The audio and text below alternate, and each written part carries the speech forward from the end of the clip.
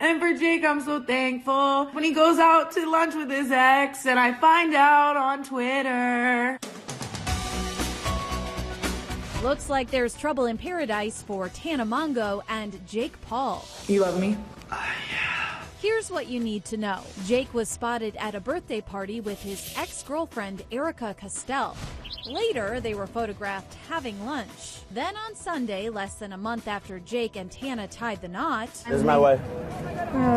Tana took to her Instagram story to sing about her past and present love life, a la Ariana Grande's Thank You Next.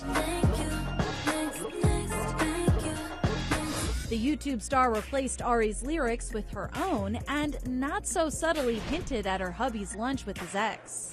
Thought I'd end up with Bella, yet it wasn't a match. Wrote some songs about Hunter. Now I listen and laugh.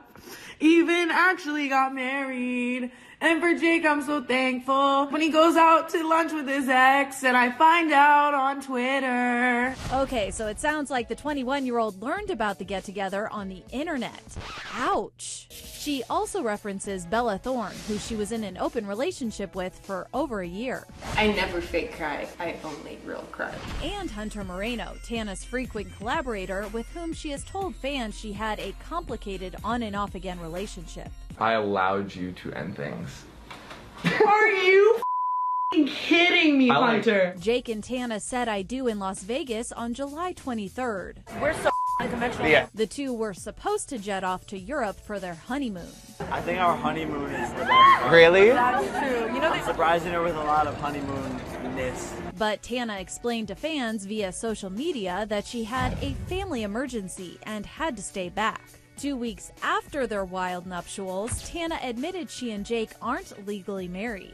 And to everybody that's calling it fake because we rushed into it or because I don't do things traditionally, because I wanted to not do it legally. But any wedding I have, if I had three more weddings, I really wouldn't want to do it on paper because I think that legally binding yourself to someone takes away the love